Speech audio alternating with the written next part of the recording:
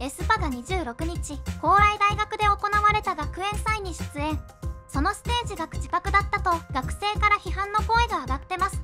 aespa は2020年11月に SM エンターテインメントからデビューしたガールズグループ。ステージでのパフォーマンスが MV の音源とあまりにも似通っているため aespa は口パクだとたびたび批判を受けています。学園祭では Black Mamba Savage Dreams Come True Next Level の4曲を披露。しかし4曲全てが口パクだったといいます。高麗大学校祝祭には G アイドルレッドベルベットなども参加しましたが口パクだったのは aespa だけとのことです。現在学園祭の出演料が高騰しており芸能人の20分公演料がコロナ前の4000万ウォンから最近5000万ウォンに上がったという話も関係者から上がっているそうです。決して安くない出演料を受け取って口パクのステージを披露したことについて学生からは批判的な反応が噴出。学生からはそのお金をもらってどうして口パクができるんだ。口パクなのバレバレ。エスパ大好きだけど生歌じゃなかったのは残念。他の歌手たちはちゃんと歌っていた。学園祭でも歌わないって歌手なのか。AI みたいだった。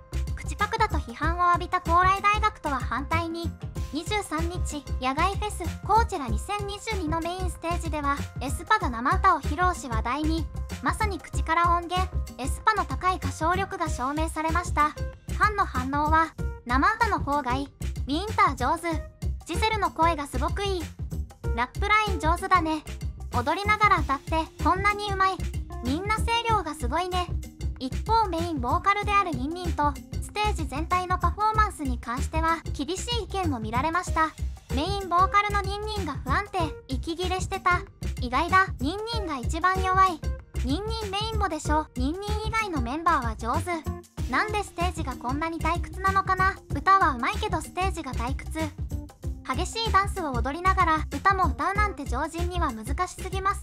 個人的には口パクか生歌かというのにはこだわりはあまりないのですが高い出演料をもらってお金を払って見に来たのにという感情から生歌を歌ってほしかったという気持ちも理解できます。学園祭であれば完璧なパフォーマンスというより生歌でコミュニケーションを取りながら会場を盛り上げた方が学生も喜んでくれたのかもしれませんね。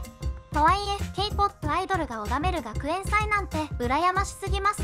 今回のお話はいかがでしたか？コメントや高評価チャンネル登録もよろしくお願いいたします。